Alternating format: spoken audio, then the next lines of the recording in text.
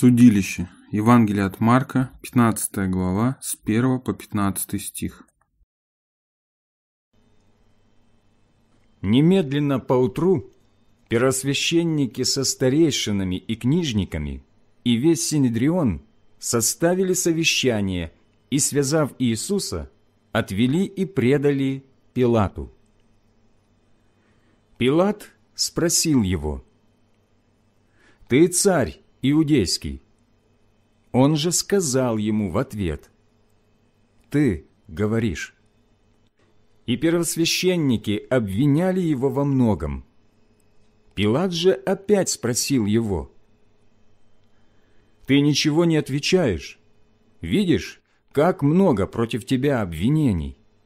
Но Иисус и на это ничего не отвечал, так что Пилат дивился.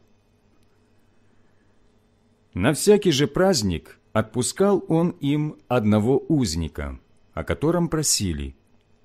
Тогда был в узах некто по имени Варавва со своими сообщниками, которые во время мятежа сделали убийство. И народ начал кричать и просить Пилата о том, что он всегда делал для них. Он сказал им в ответ, «Хотите ли, отпущу вам царя Иудейского, ибо знал, что первосвященники предали его из зависти. Но первосвященники возбудили народ просить, чтобы отпустил им лучше Вараву. Пилат, отвечая, опять сказал им, «Что же хотите, чтобы я сделал с тем, которого вы называете царем иудейским?» Они опять закричали, «Распни его!» Пилат сказал им, «Какое же зло сделал он?» Но они еще сильнее закричали, «Распни его!»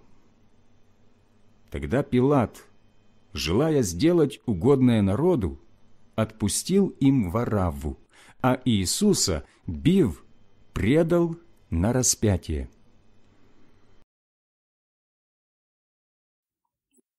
Размышление, часть первая. Истинный агнец. Евангелие от Марка, 15 глава, с 1 по 5 стих. По закону иудеи не имеют права приводить в исполнение смертный приговор, поэтому они отправляют Иисуса к Пилату, римскому префекту Иудеи. Они понимают, что казнить его надо как можно скорее, потому что приближается праздник Пасхи, во время которого казнь будет невозможна. На суде Иисусу предъявляется множество обвинений, но ничего не отвечает на них.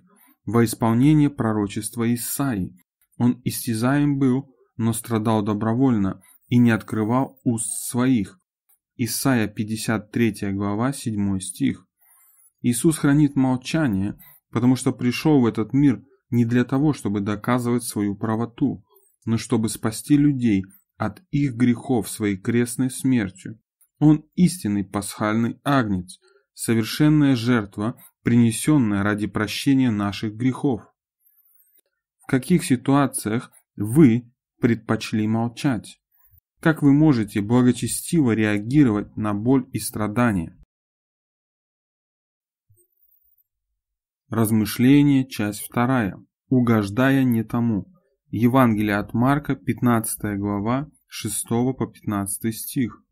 Народ приходит к Понтию Пилату с просьбой отпустить одного из узников, как это было принято на праздник.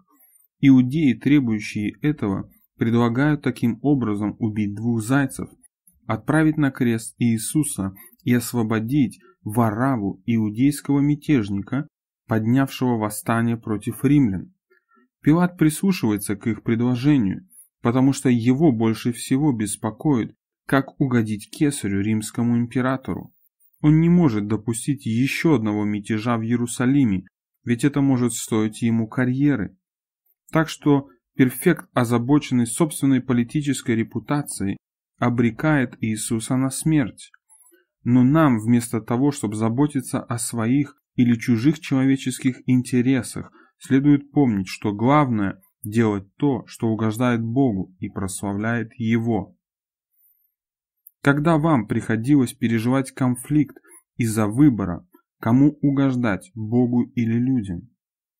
Как вы можете угождать своей жизнью больше Богу, чем людям? Молитва.